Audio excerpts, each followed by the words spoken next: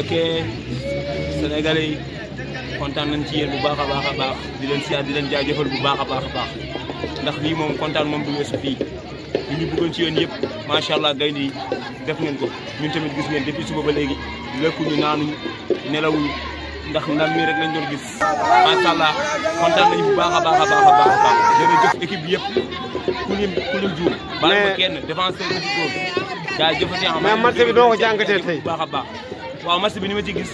ni mu commencé woon métti na lool parce que ñun ñëpp fii ñu toogoon depuis sànq di seetaan en plus di filmé waale affaire yi mais boo gisee nit ñi daw dañoo demoon ba benn moment dañoo xawoon tiit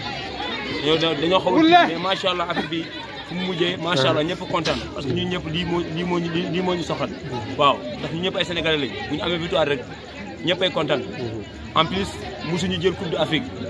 fii mu kenn mënul werante kenn mënul woon werante ci Sénégal parce que koo weranteel dina naan lan ngeen jël ñun nag yàlla jàppale nañ tey incha allahu rabbi bokk nañu si ñi nga xamante ni ñoom ñoo jëloon coupe d'Afrique tey boo leen di lim da ngay da ngay lim Sénégal par force mention spéciale Aliou Cissé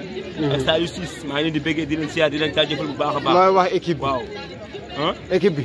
waaw équipe bi macha allah baax na dëgër na xëy na supporter booy seetaan booy seetaan match da ngay xaw a sonn ak euh, ni ngay tricher si biir match bi loolu mënul ñàkk mais finalement fu mu mujjee tamit baax na quoi donc vraiment équipe bi yëpp tey kontaan dañoo dañoo def loo xamante ni Sénégal yëpp kontaan adduna bi yëpp moo kontaan. boo gisee euh, Camerounais yi wala feneen ak feneen ak feneen ci ci Afrique ñuy faral ak euh, Sénégal mm-hmm. daanaka lii la ñu bëggoon ci Sénégal mm-hmm. mention spéciale Sénégal yëpp maa ngi leen di bëggee di leen siyaar di leen jaajëfal merci kat merci ñoom ñëpp kontaan nañu déjà am jo kan gor ko mu ko dee gànde beneen maa ngi leen di bëgg di leen siyaar jox leen di daje beneen yoon incha allah